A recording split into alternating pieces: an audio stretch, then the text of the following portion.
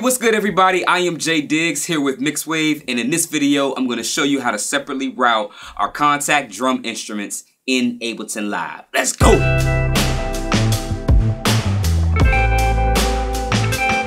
Alright guys, here we are in Ableton Live. We want to be on our MIDI track and we're going to go to our browser and load Kontakt. Now, you want to be able to see your output configuration. In order to be able to see this, you want to hit this button right here. It may look like this for you, but then you want to hit this, hit outputs, outputs will pop right up. Now, we want to set this configuration before we load our plugin. Some DAWs will let you use mono outs, but in the case of Ableton, it's much easier to just go with the stereo outputs. It's much simpler. It's going to save you a lot of headache. All right, what we're going to do is hit the plus button right here. I want to make eight stereo channels. So for quantity, I'm going to hit eight and leave the number of channels at two for stereo. And what you're going to do is under host output, you're going to hit the first one, stereo one. Now, you also want to hit delete existing channels before creating new ones. That's going to delete this one right here and hit OK. All right, now you can see that we have all eight of our stereo channels.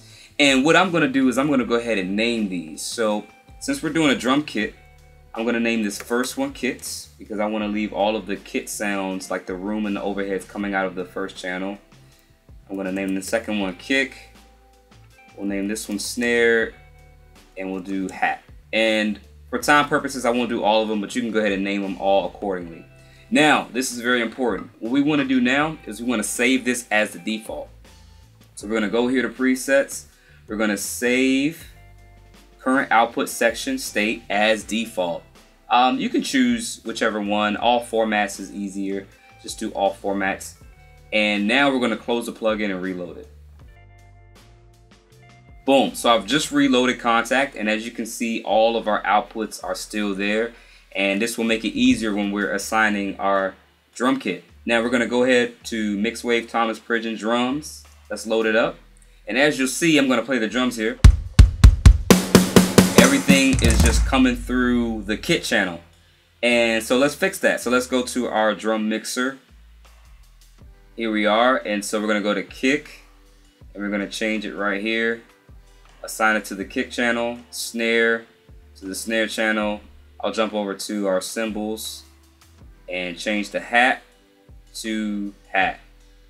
Now, you can still hear a little bit. That's the overheads in the room coming through the kit, but we've lost the main sound for our drums. And now we're gonna do is jump over to the main view and create audio channels to route those sounds through. So here we are in our main view. We have our Kontakt instrument channel, and then we have these two audio channels.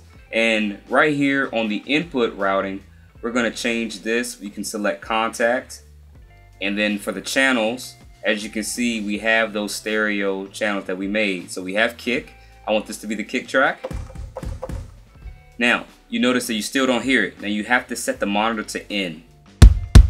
There we go. And so I'm just going to go ahead and name this. And for our next channel, we're going to do the same thing. We're going to route this to Kontakt. And for the input, we're to put this on snare. Turn the input on, monitor on. There we go. Now we have everything on a separate channel. You can go ahead and rename this as well. And let's go ahead and make a channel for our hi-hat. Change the input, the Kontakt, the input channel to hat, in, boom. This is great. And now you can do all sorts of things. You can go ahead and start to add effects on there. Say you want to add a, let's say you want to put a limiter on just a kick track.